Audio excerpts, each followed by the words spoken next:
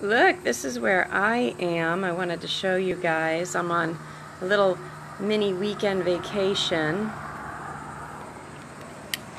And I just wanted to do a quick talk. Oh, you can't see the ocean now. I was hoping that would be behind me. Oh, bummer. You can't see it. What if I do like this? Can you see it? Oh, I have to be in the shadows. Should I do the talk in the shadows? anyway, so I have this beautiful, beautiful ocean behind me this morning, and I'm very tired. I woke up with a sore throat, which happens sometimes, so I get to look at how, good morning, thank you for joining me. So I get to look at this morning, I get to look at where have I not let myself speak my truth, right? Because that's what happens when our throats shut, uh, shut down. So um, I get to look at that a little later today. But first I want to do this really quick video because I've been having a lot of clients lately coming in having a lot of trouble understanding what it really means to love yourself. Because we all think that we love ourselves. We're like, yeah, I'm, I'm great. I'm a good good mortgage. um, you know, I think I'm a great person. I think everything uh, I'm doing is going well you know, I don't think there's anything wrong with me until, of course, we sit down in those quiet times. Some of us can't even sit down in the quiet times, and that's really what I'm starting to notice. Good morning. Um, that some of us really can't sit down in that quiet time, even with ourselves. And so I'm going to give a couple of, of, examples of things that I've noticed, little stories of times when people really struggle with knowing. Um, that it's okay to be loving and kind to themselves. Good morning! I'm so glad you're with me this morning. I'm doing it early enough for you to be here, huh? So, here's a quick example. I wrote a blog about this last night, so this video is going to go in the blog, and I'm going to give a couple more examples. But here's a personal example. So, yesterday it was really hot outside. And I was like, man, it is so hot.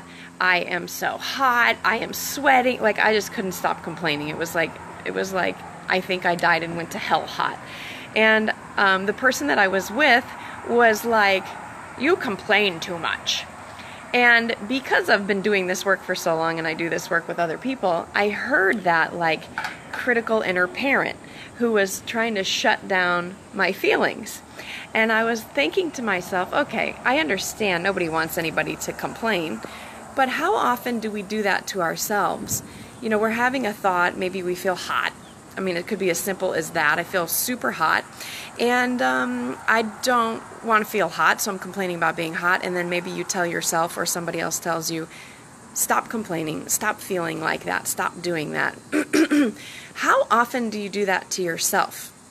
This is what we're talking about, right? With self love. And so I said, you know, ow, that hurts my feelings. Like, I really am hot. I'm sorry that I'm complaining and bothering you. But when I complained and bothered the other person, can you see how that's the other person not willing to sit in their own suffering and pain? And I said, I know it's I know it's hot. You're probably hot too. I said, but when you tell me stop complaining, what I hear you saying is stop feeling your feelings.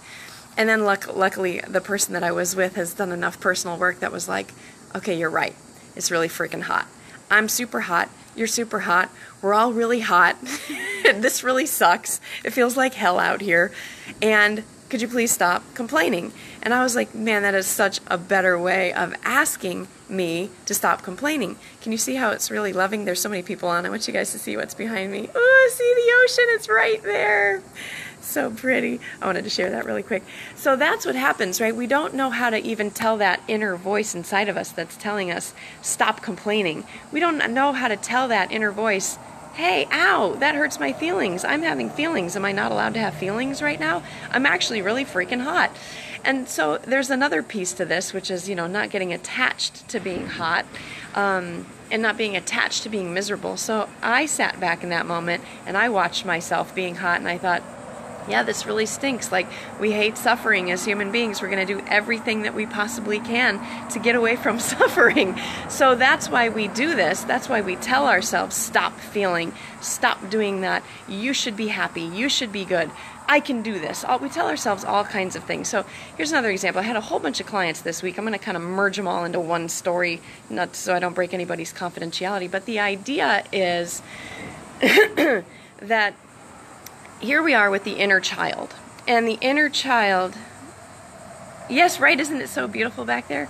So the inner child, um, you know, the, the adult self and the inner child, we're doing like a hypnosis session. The adult self and the inner child are together, and we're showing up for the inner child. And the inner child is maybe, um, okay, so most of us, our inner child, we weren't allowed to talk or speak or express ourselves. So we're sitting there with the inner child, and um, I'll have the client say something like, I'm here, I'm here with you, I'm here for you. And then I kind of let them take over and, and I tell them, like, now validate the inner child. Now, sometimes what happens is many, many clients actually will say something like, um, You don't have to feel like this.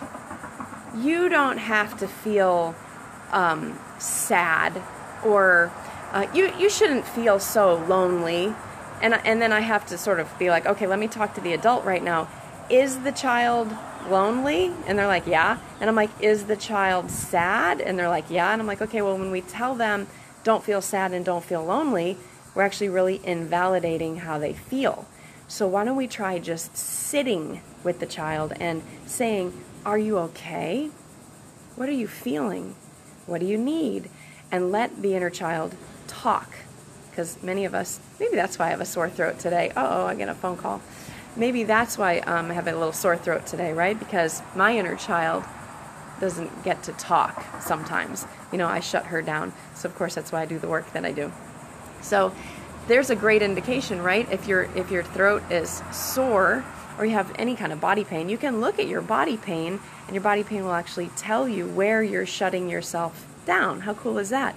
So then the work is to sit with the pain I know you don't want to sit with the pain. I know it totally stinks to sit with the pain. I did a meditation retreat all day on Saturday with Mike. It was so nice. And basically, for you know five six hours, we sat with ourselves. And I remember when I first started sitting with myself, I was like, "This is the most uncomfortable thing I've ever done in my life." But that's the whole idea: is to sit with your discomfort when you don't sit with your discomfort, you end up overspending, you end up acting out sexually, you end up, uh, you know, with addictions or um, in front of the television, you know, just sucked into that thing, just avoiding connection. When you slow down, it was so beautiful to slow down this meditation retreat so slowly. It actually was walking so slowly. I walked right up to a tree, and there was a lizard right in front of me, and his skin was peeling right in front of me. And I was like, oh my God, when we move so fast, we miss the beautiful wonders and the miracles of life, just like this one, right? We gotta just look at that. How beautiful is that? Can you see those waves back there? Just gotta slow down and take a little bit of time to enjoy life and um, allow ourselves to even feel those sensitive, yucky, uh, sabotaging, shameful, nasty feelings, it's important to sit with those with love and compassion and kindness. So that's all I got for you guys this morning. Thank you for joining me here at the beach. So beautiful. I wanted to share that with you. I hope you guys, um, some people have today off. I hope that you make the most of it. Slow down, take some time, be with yourself. Um, the blog will be coming probably by tomorrow morning, so if you want to read the blog, you know, do that. Share this video. I love you guys. Thanks for being here with me. Maybe I have to get up early and do this more often because so many of you guys are um, joining me earlier in the morning. All right, I hope you guys all have a fantastic, wonderful, beautiful day, and I'll be thinking of you. And take care of yourselves, love yourselves, and love everybody around you. Bye.